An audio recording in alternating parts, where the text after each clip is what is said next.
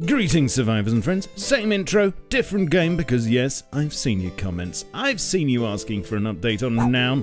And if you missed my previous vid, it's a new game in development looking to fuse chivalry style combat with Rust style survival, building, and raiding in a medieval world of knights, peasants, and hopefully the odd holy hand grenade. Oh, yes, and there will be pies. Yes, there will be pies. Anyway, it's been three months and the team have been busy adding lots of new stuff, including weapons, shields, heraldry, a very early version of the building system, and catapults. So, yeah, I think it's time for a quick update. Oh, and of course, needless to say, but everything you're going to see here is very early in development and thus subject to change. Okay, chaps, well, it's good to be back, and uh, I know you've been very busy. We have. So perhaps you can tell me what's new for combat since I was here last. We've added a bunch of new weapons, uh, as well as added one-handed weapon support and shields. So if I bring out a uh, Nice. short spear here, I think I'll go for the falchion nice. Good choice. and and a kite shield. Yeah. There you go. Oh, looking nice. And assuming it's right mouse button to use shields, yeah. That's exactly right. So as you can see, the longer you hold the shield, the harder it is to turn left and right. So it's sort of the disadvantage of holding a shield. Oh yes. Well, the idea being that you can use the shield just to click to block, right? And you can just parry like normal, or you can hold to basically brace for against archery attacks, or it allows you to sort of one v X or one v multiple opponents a little bit easier. You can also bash with C, shield bash. Yes, I was going to ask about that. And that's Hold a on, large ho- part. hold on. Is this PUBG? Where did Fester get a pan? It arrived one day in the build and was like, "Oh, there's a pan here," and I was like, "Yeah, I added a pan." Yes, we got a pan and a kitchen knife. So there's, you know, the, all the kitchen supplies you need. And did I see a pitchfork as well? We have. So we've added some uh, peasant weapons. Uh, to th- these would be the sort of things that you'd find on the map. So if you imagine like you're spawning in, you're naked, you you run into a old rundown cottage, you pick up their pitchfork and, and you're off. You know, you've, you've got something to defend yourself with. Get some torches, pop down to see Shrek. Exactly. Pole hammer, Ooh, so that you one can looks smack nice. people from afar. Oh, uh, bastard weapons is another thing. So your classic two-hander and then swap to one-hander. Hit Z. Oh yeah. There you go. There you go. Right. Oh, hold on. You can kick now. I did just kick. So so this is something to punish someone that holds their block continuously. Just give us a give us a kick there. No, don't. Could Fairly- get Fester over Yeah, there. if you try to- Fester, you Fester's a- going hard on Killbot. Yeah. Stops people just over relying on that holding system. He's just finished eating dinner. He's ready for a fight. What are you going to do with that? Yeah, scroll wheel. Remember, um, Shadow. Oh, Oh, never mind, eh? I will say you were fighting at a bit of a disadvantage there, Fester, fighting a man in full plate armor with a kitchen knife. It'll hopefully, hopefully, in theory at least, reduce the KOS, just you know, instantaneousness of it. Like in Rust, you're basically obliged to KOS. Where hopefully in this it'll be a bit more civilized, and says you can at least talk to your person before you kill them. Oh, making a bold claims there, sir. Do you have any plans to allow throwing of weapons? we we want to have quite a quite a range of ranged weapons. Um, We definitely want throwing axes, throwing knives. We one of the things I'm most excited for is a, a sling. We've added uh, weapon and armor damage states, so uh, you have durability to your to your gear. If you imagine um, over time using weapons, they break down and they have to be repaired, and we wanted to have that visually shown. Killing a player will get you quite bloodied, um, and then some nice solid um, flesh hits will also get your weapon nice and, and bloodied up. Can't wait for the cries of "It's just a flesh wound." Most of the things we've added are, are new helmets. Uh, they're still very much up for change as well. Like they're Do you, do what you you want me to say it? Do you? They're they're, Oh, well, they're just- they're they're they're they're subject to change.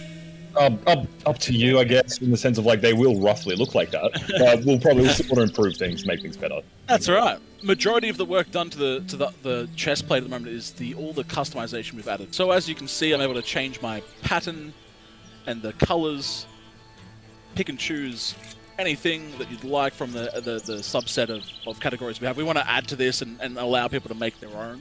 Um, same with the emblem. If you see my shield here, I can set along and change the various types alongside sort of its scale. there. Oh, oh, look at that. The final idea behind our customization is we'll have to keep pretty much rough uh, the same body shape, right? You can't really have tall and short people and that kind of stuff. But short of that, we want players to be able to customize. Well, yeah, you know, ev- rate everyone would be uh, playing as a dwarf, wouldn't they, with the smallest Exactly, hit, yeah. hitbox imaginable and just going for Yep. the knees. That's right. Exactly. So, or yeah. you end up with very tall people who have extreme, like really long arms, if that makes sense. Like, Yeah, yeah. Oh, you mean you're not going to make it like Ark? But I believe you're going to be implementing meta-human stuff for the character creation, is that right? That's correct. So the, these faces are our first attempt at um, implementing the metahuman, uh, if the, anyone knows that from Unreal, uh, which are the the very extensive customization system they have for characters. oh, I see All right, in good. the distance over there. That is the catapult. So this is a, a mallet, which you can use to attack, um, but it's also used for building. So if you left click, you can bring up the menu, I see. Okay. and yeah. you can nice pie menu. similar- Yeah. That's right. It's got, got to be got to be a pie menu, um, and it's it's very similar to how I'm sure you, you uh, would be familiar with. Would you like to build a little house? I shall build a classic rough rust one by two. How's that? I'm afraid it'll be a rough renown one by two. Can- Yeah. yeah, yeah. Uh, a piece. Ah, How do I want. destroy a part that I don't want? Uh, you hold press E on it, and then that will that will come up. Ah, okay. With, Nice to see triangle stuff in there straight away. That's good. And to upgrade its E. E. E is our Okay, E is to upgrade.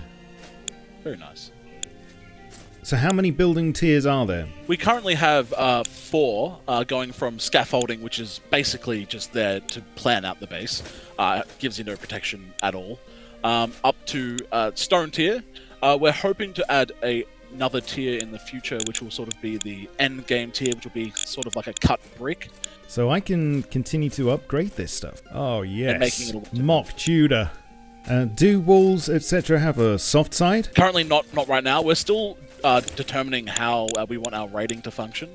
Um, we, we're, we're trying to decide between just outright destruction or if you have to push through doorways. That's all going to be covered once we enter our um, raiding module, creating a sort of a game mode where people will be able to jump in, like two teams attacking each other with uh, two different bases, um, and we're going to just be able to quickly mess around with different functions of raiding. Um, and hopefully come up with something that, that works really well. Let's just have a look at the different building parts you've got in at the moment. You've got windows, doors, U stairs, L stairs, foundation stairs, and Hmm. uh, what's what's a support? It's like a like a four three posts. I'll, I'll build, one for you. Oh, I see. It's like a frame, right? Okay. Yeah, that's right. It's just a little little frame there. I'll just chuck it Right. there. Okay. One thing we forgot to cover was fist fighting. Cover That's that. right. It's very much the same. It's the same. It functions the same way as the the rest of the combat works. Okay, so you've just spawned in, or you just decide that this is the way to settle your differences in a gentlemanly That's manner. exactly. No, we, we wanted to save the gear. Our, our uh, clan mates are watching from the sidelines. Gentlemen's rule: don't fight by the catapult. Five hours later. Oh no, no! Oh, You missed. oh. got him. All right, so show me this because I want to see Oh. this. So this is all very early and still subject to change. Of course. Yep. Moving around left and right, you'll be able to aim the the catapult. Right click Okay. to turn on your aiming reticle and then turn it off again if you want it. Oh, I see. Ah. And uh, left click to commit. Fire. Yep. Better fire. And you can uh, lower it down a little bit. Okay, let me see. I'm guessing the right click menu will get removed in the future, and we'll just have There you go. the tension system basically. Yes, this is this is what this is what we need. Yeah. So it's definitely going to take quite a few hits in in the future to, to knock it. Yeah, it's not like it'll just be one hitting everything.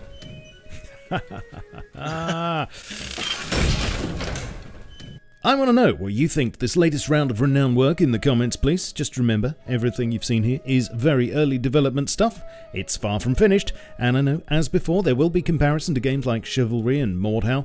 This is intentional. It's not pretending to be anything new in that regard, but rather an attempt to merge that kind of gameplay with the more Rust-like survival and base building genre. What the chaps showed me today was just a small part of the planned features, of course, and if you'd like to see a fuller list and maybe even support the project, then I'll leave a link to their Indiegogo campaign in the description, which is actually doing really well right now and will include quite a few backer reward items, including this rather fetching frog mouth helm complete with frog crest, Now, if only there was a pair of boots to go with that. As for an ETA on actually playing, the plan's to let backers into a closed alpha combat version in September, with an open beta following on sometime later when a number of other systems are implemented. You can keep up to date with the project by joining their Discord, again, link below, and subscribing to the channel here, of course, as I intend to keep you up to date with future developments as they happen. Join me on Twitch for streams, Twitter, Facebook, Discord, and my Steam group to stay up to date with my content, and you can support the channel directly through Patreon or by buying some of my merch.